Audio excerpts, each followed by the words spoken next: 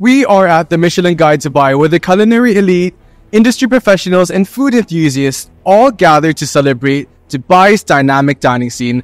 Let's get the night started.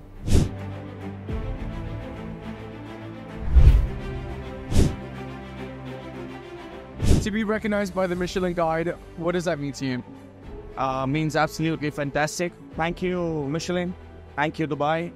Uh, thank you to the team, Bistro Amara. Thank you, Mr. Nath, Mrs. Nath, the owner of the company, Chef Himanshu, Chef Rahul. The award is to all the champions who lead this whole thing every single day. It's a lot of hard work.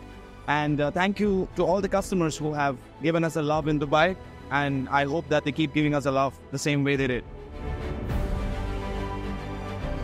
So it means for me personally, like coming uh, from Serbia, like that you should never give up on your dreams and that you always go give your best and pursue pursue your dreams and you know they, they, they will happen. This is like like a small step in the in the overall journey that I, I, I like to achieve me personally as a chef.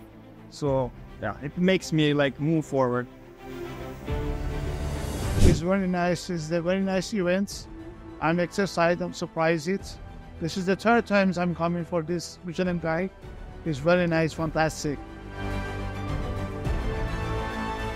Not one star, but two. Not one unicorn, but two. How does that feel? Uh, It's amazing. Um, I think uh, I really feel proud because um I'm representing Indian food in Dubai, and we know that Indians are a big community in Dubai, and uh, and it's I think it's my duty and responsibility to promote Indian food at the same time, take it to another level, and that's what we try to thrive on. We try to achieve more and more with Indian food, and uh, we will not stop here. We will come back again next year and hoping to go big. What is your secret ingredient? The, the love. To be honest, yes, what you love, love what you do. It's very important. If there is a pa- passion and love, you will be fantastic.